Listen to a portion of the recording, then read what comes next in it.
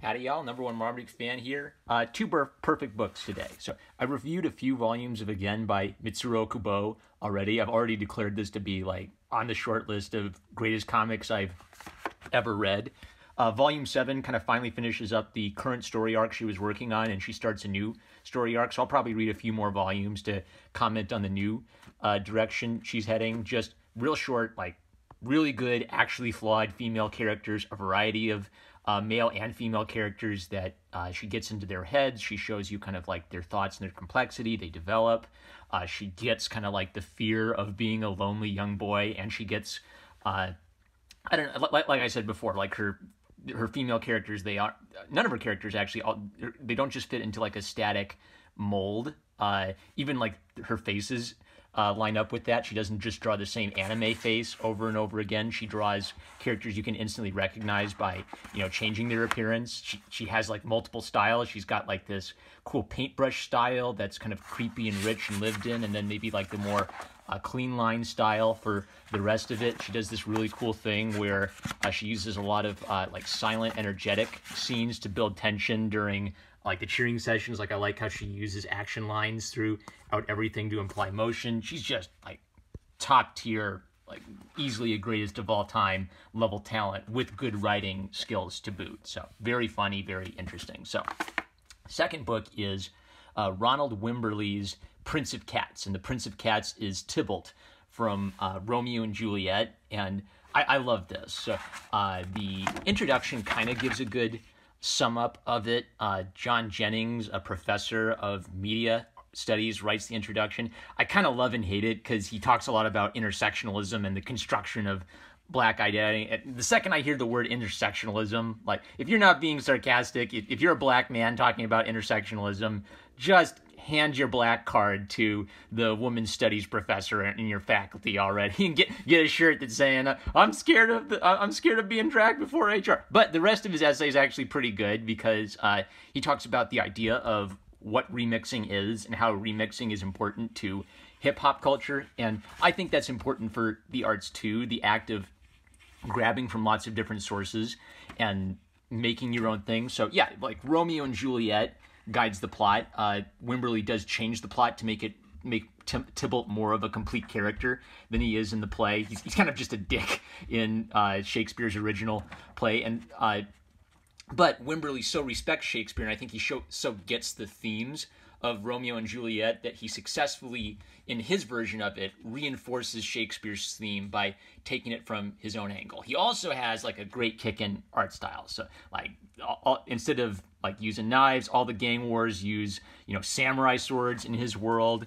Uh, Johnson mentions a few possible sources of inspiration like Kurosawa. Uh, Wu Tang Clan, some action movies I haven't seen. I personally see a lot of influence of uh, Frank Miller on this style. Even like the guy's sunglasses kind of evoke the mutants from uh, The Dark Knight Returns. There's obviously like a good dose of anime uh, in this. It wouldn't surprise me if he's watched some Zatoichi. He's even got uh, one of the characters uses a Zatoichi style uh, cane, cane sword. Uh, another interesting thing about Wimberly's art style is the color is really good. Kind of creates this funky uh, vibe throughout everything. He uses simple shapes a lot, especially like during the running and jumping scenes. They'll be they'll just like uh, simplify to really simple little figures, but they have a lot of motion to them.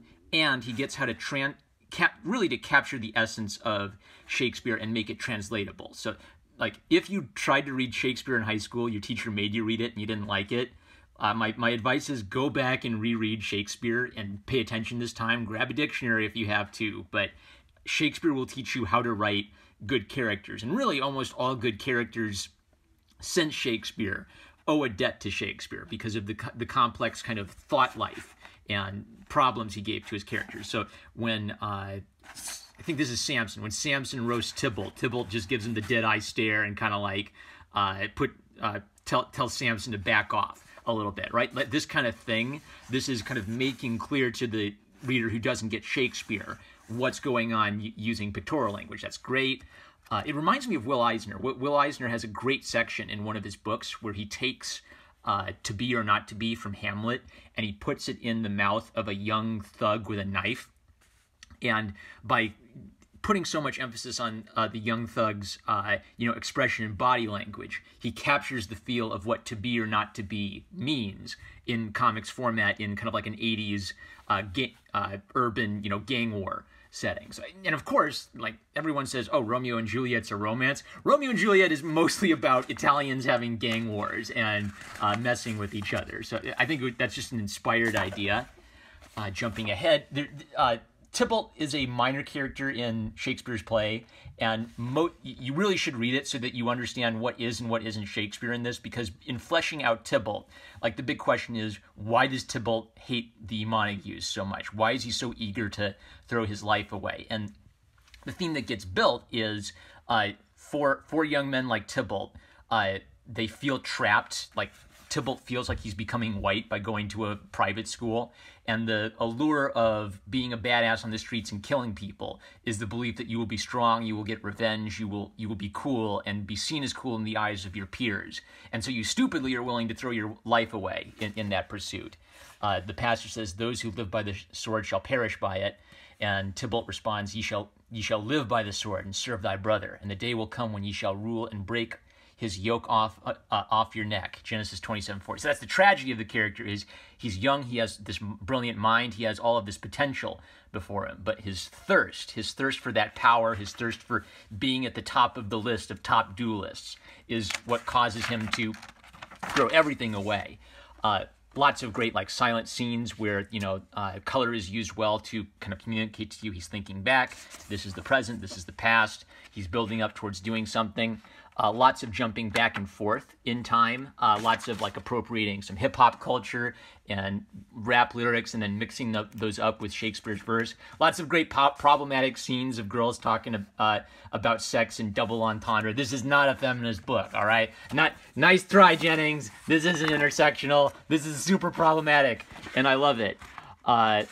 In oh what's this? Oh yeah okay. There's there's not of which to speak. It's whack thoroughly. A black no. More a bright void a white hole. A droll necropolis where boys wordly preserve their life yet forfeit their soul. So the the foolishness of feeling trapped and feeling like you're not a man drives young men into these stupid gang wars because uh, they feel like there's life or there's soul in that short uh, in that short, passionate, violent, violent life. But then the problem is when you're bleeding out on the ground or when your fr- friend is dead, it's not it's not that fun anymore. And are you stuck in it forever? Is there any redemption from that? Uh, Romeo's kind of a simp in this. He, I think he's coded to be kind of like a uh, oh, what's his name? What's the white rapper's name? The guy who raps Mom Spaghetti. I'm showing how little I know about hip hop. Eminem, all right, he's kind of coded as an Eminem, like a white boy who's intruding into uh, their territory, but he's really good with his sword. But he's just kind of he's kind of a douche, uh, which makes sense since this is Tybalt's story and we're seeing things from Tybalt's perspective. Uh, I marked this. Oh, typo. Should have hired me. You left the you, you, left the info there. There's one more page I gotta find. This this is okay. So this is Mercutio and Tybalt like uh, exchanging words with each other. And when Tybalt says "I am for you," right? That's kind of an archaic phrase. That's one of those phrases from Shakespeare that might not translate. So what Wimberly is doing in his art is he is showing visually the one. Oops, I'm out of space. Get this book. Wimberly really gets it. Great atmosphere and mood. Uh, a very unique uh, example of the use of comics as a medium, very respectful take on Shakespeare. Uh, I, I, absolutely love it. I want to I want to own it. And some great concept art at the end, showing his process and how he ev- evolves things over time. Fantastic book. Highest recommendation. Two highest recommendations. Love you. Catch you later.